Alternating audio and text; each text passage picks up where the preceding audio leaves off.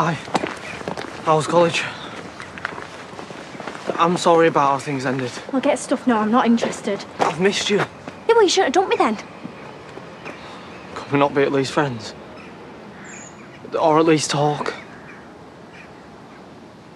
Marcus has offered me an apprenticeship.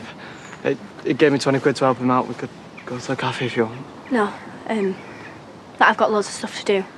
Me and Dad are moving home tomorrow, but apprenticeship sounds good. Not said yes yet. Don't know if I'm clever enough. But of course you are. Like, you need to start believing in yourself. You should probably go.